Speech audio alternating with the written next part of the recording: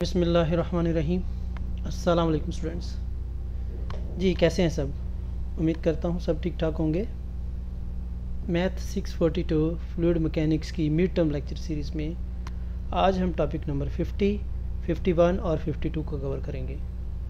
Start करने से पहले आपसे रिक्वेस्ट है कि अगर आपने अभी तक चैनल सब्सक्राइब नहीं किया तो चैनल सब्सक्राइब कर लें और बेल आइकन पर प्रेस कर लें ताकि हर वीडियो क्विज़ असाइनमेंट जीडीबी वगैरह जीडीबी वगैरह आपको बर वक्त मिल सके। तो चलें स्टार्ट करते हैं। आज का हमारा जो टॉपिक है, वो स्टेगनेशन पॉइंट से रिलेटेड है। स्टेगनेशन पॉइंट क्या होता है? उससे रिलेटेड हम एक न्यूमेरिकल करेंगे। ठीक है? तो आइए पहले स्टेगनेशन को समझ लेते हैं, फिर इसकी डेफिनेशन की तरफ़ आएँगे। तो यहाँ पर देखिएगा, ये डिफरेंट फ्लूड पार्टिकल हैं। सपोज़ ये ब्लू कलर के जो हैं, ये पार्टिकल हैं। डिफरेंट फ्लूड पार्टिकल हैं। अब इन फ्लूड पार्टिकल की डिफरेंट वेलासिटीज़ हैं। यहाँ पर एरो के साथ इसकी मैग्नीट्यूड और डायरेक्शन को शो किया हुआ है। किसी जगह पे कम है, किसी जगह पे ज़्यादा है। यहाँ पर देखें ज़्यादा है, यहाँ पर कम है, यहाँ पर कम है। यानी हर पार्टिकल की डिफरेंट पॉइंट पे वेलासिटी डिफरेंट है। अच्छा एक ऐसा पॉइंट जहाँ पर फ्लूड की वेलासिटी ज़ीरो हो जाए, वो उसका स्टेगनेशन पॉइंट कहलाता है। ठीक है? यानी जहाँ पर एक्स और वाई पोजीशन दोनों में क्या हो जाए वो ज़ीरो हो जाए तो वो आपका स्टेगनेशन पॉइंट कहलाएगा। यहाँ पर ये जो रेड है ये स्टेगनेशन पॉइंट को शो कर रहा है। सो so, यहाँ पर ये डेफिनेशन हम कहेंगे जी a stagnation point is define as a point in the flow field where the velocity is zero ठीक है? यानी विलास्ट फ्लो फ़ील्ड में जहाँ पर विलासिटी ज़ीरो हो उसका क्या होगा? स्टेगनेशन पॉइंट होगा।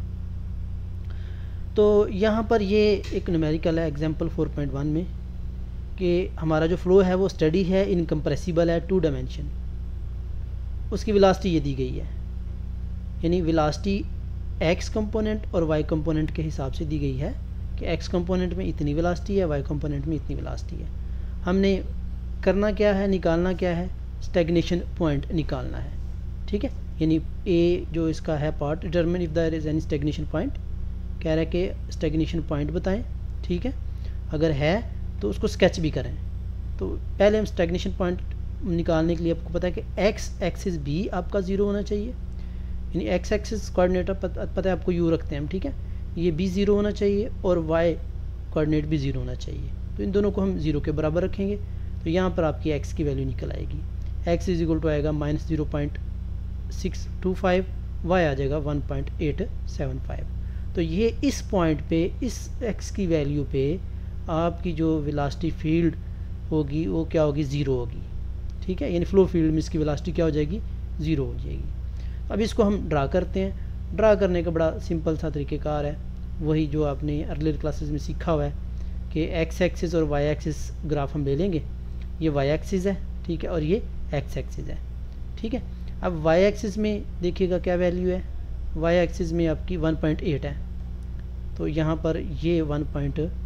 यहाँ पर अगर मैं शो कर पाऊँ तो ये आपकी टू है तो ये एट है। तकरीबन ये आलमोस्ट वन पॉइंट एट बनती है ये वाली। ठीक है? ये सर्कल दिया हुआ है बेसिकली ठीक है? और जो आपकी एक्स एक्सिस है, वो ज़ीरो पॉइंट सिक्स है। यानी वन और ज़ीरो के दरमियान है। वन और ज़ीरो के दरमियान तो ये है। ठीक है? यानी ये एक्स एक्सिस पे होगी और ये वाई एक्सिस पे होगी। तो ये इन दोनों को ज्वाइन करने से जो पॉइंट आएगा ये आपका क्या आएगा? स्टेगनेशन पॉइंट है। यहाँ पर दिया हुआ है। ठीक है? तो इसको आपने ग्राफ में शो करना है इस तरह। ठीक है? बाकी चीज़ें इसमें कुछ नहीं है याद करने वाली। जस्ट ये आपको याद करना पड़ेगा। अच्छा ये हमें पता है कि जो वेलासिटी दी गई है वो कौन सी है? स्टडी है और इनकम्प्रेसिबल है। ये चीज़ यहाँ पर ख़ास ख्याल रखना है इसका। स्टेगनेशन पॉइंट के लिए। चले नेक्स्ट टॉपिक नंबर 52 है। 52 में विलासिटी पहले मटेरियल पोजीशन वेक्टर तो मैं आपको पहले बता चुका हूँ कि एक्स वाई एंड जी और टाइम टी दो तरह के होते हैं, एक x y z three three dimension में और एक लोकल यानी टाइम के हिसाब से होता है, ठीक है? तो ये मटेरियल पोजीशन वेक्टर आ जाते हैं। अच्छा इसके बाद है विलासिटी एक्सेलरेशन फ़ील्ड इसको नहीं करना आपने, ये ज़रूरत नहीं है। विलासिटी एक्सेलरेशन फ़ील्ड इससे पहले हमने एक्सेलरेशन फ़ील्ड देखी थी। विलासिटी एंड एक्सेलरेशन की अब दोनों की देखेंगे। विलासिटी की वही है विद रिस्पेक्ट टू टाइम यानी x y z with respect to time यानी इसका टाइम जो है वो फ़ंक्शन है। ठीक है? और एंड पे जो है फोर्थ नंबर पे टाइम आ जाएगा। तो ये velocity acceleration sorry velocity field है। अब एक्सेलरेशन फ़ील्ड मैंने आपको एक टॉपिक में निकालना बताया था। तो ये फार्मूला भी मैंने आपको ड्राइव करवाया था। पीछे एक टॉपिक है, वहाँ पर ये फार्मूला ड्राइव कराया था। जस्ट आपको ये मैंने बोला था कि आपने टोटल एक्सेलरेशन की जो फ़ील्ड है, इसका फार्मूला याद रखना है। तो वो भी मैंने आपको बताया था कि फार्मूला क्या था एक्सेलरेशन तो क्या है change in velocity with respect to time ठीक है?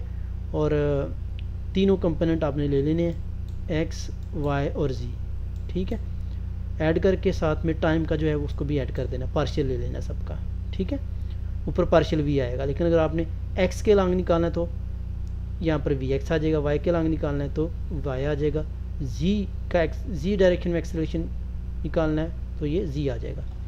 अब आपको ये मैंने बताया था कि वी एक्स को हम यू कहते हैं, यानी एक्स कंपोनेंट यू आ जाता है वाई कंपोनेंट वी आ जाता है और जी कंपोनेंट डब्ल्यू आ जाता है। तो वो आप उसके अकॉर्डिंगली यहाँ पर वैल्यू रख सकते हैं। एक तो आपका ये आ जाता है, ठीक है? और डेल की वैल्यू भी हमने पीछे पड़ी हुई थी। डेल की वैल्यू आपको पता है partial over partial x partial over partial y partial over partial z होती है। इसको आई वगैरह में भी डिनोट कर सकते हैं। ठीक है जी? ये मैंने आपको बताया था दो तरह के एक्सरेशन होते हैं लोकल एक्सरेशन यानी टाइम के हिसाब से जो है मैं आपको पहले बता चुका हूँ। कि जो टाइम वाला होता है, ये आपका लोकल एक्सेलरेशन होता है और दूसरा जो एडवेक्टिव एक्सेलरेशन होता है। एडवेक्टिव था, एक और इसका नाम था, वो मैंने लास्ट लेक्चर में आपको बताया हुआ है। ठीक है?